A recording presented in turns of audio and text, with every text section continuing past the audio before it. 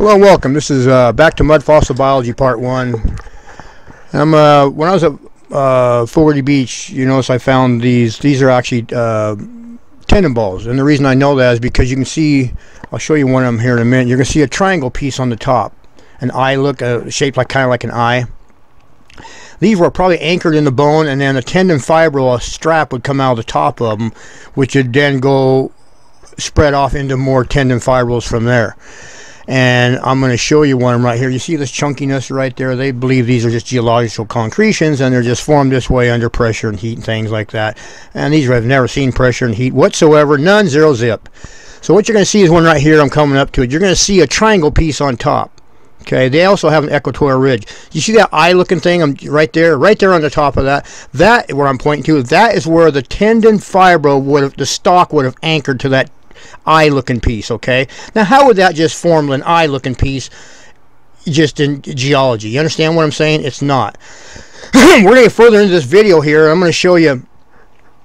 Uh, I took a sample off these other what they would call geological concretions and what they would it had to be determined to be a sedimentary deposit because there's no way there's no heat or pressure ever been in what you're about to see coming up right now. So we're going to jump to the next scene here in just a minute about right now. There's another tendon ball.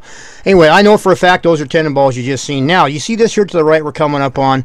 Okay, everybody walks by this doesn't even notice. I don't think even geologists have noticed what that is. They believe it would be, they'd have to be a sedimentary deposit, but it's just loaded full of these round spheres, these round balls. I've shown this before.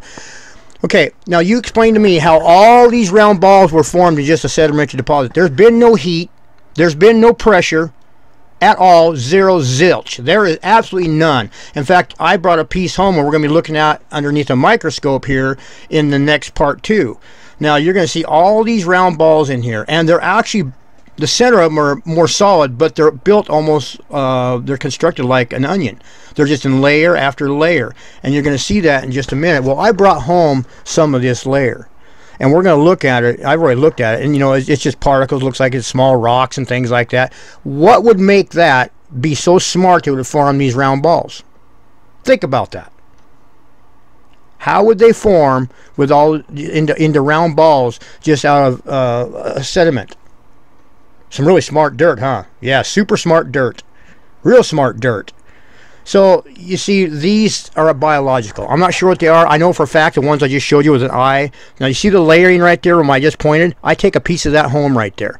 Right here, right there, I grab a piece of it and I brought that home. See all those layers right there it's made out of? Or it's constructed?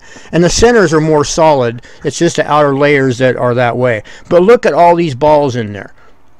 Now, you tell me how they were formed because there's no heat, no pressure to form them. They're unlike anything geological concretion, what they call geological concretions that I've even found.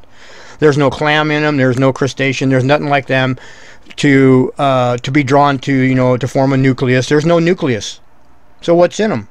I mean, what, how they form? How they, how did dirt get that smart? How did a sedimentary deposit get that smart to just all form into balls like that? It's not. It's biological. It's 100% biological. Now I'm going to show you something else here. Um, I'm going to show you another sphere, a round sphere, and um, it's unlike these also. And they would call that a, geology lumps them all into one ball of marble, bag of marbles here, and they call them all geological concretions. And I 100% disagree with that. I believe 99.99% of them are biological and not geological.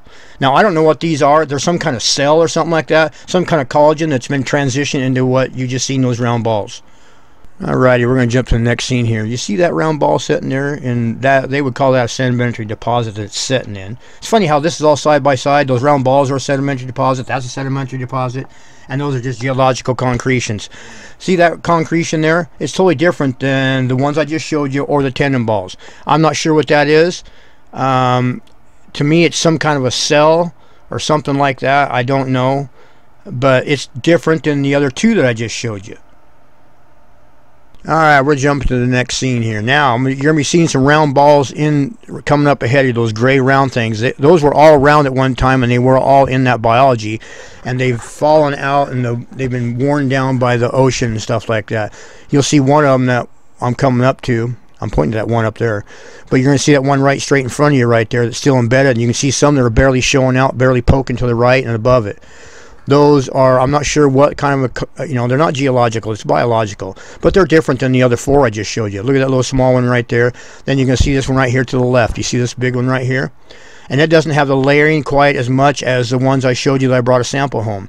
And I'm not quite sure what they are. They're in some kind of a, a biology right there and they're biological themselves. This is these are not geological concretions like the one I'm pointing at right there. It's just like the one I just pointed at there so I'm not quite sure what they are, but we're going to be looking at a sample that I, you see me break off from those ones that are layered like an onion, and we'll be bringing that to you underneath the microscope and we taking a look at it, and be asking yourself why would why would dirt or sediment be that smart to find, find to form these balls? Because there's been no heat, there's been no pressure it, to apply to it to even to match any theory they have on geological concretions. And what I'm pointing right out to you right there, that's a membrane, a single layered lipid membrane. Okay and it's separating the biology from above and biology below. So this is uh, the end of part one, and I'm going to be getting to part two here real shortly. Okay, okay. So thanks for joining me. Have a great day, and bye bye now.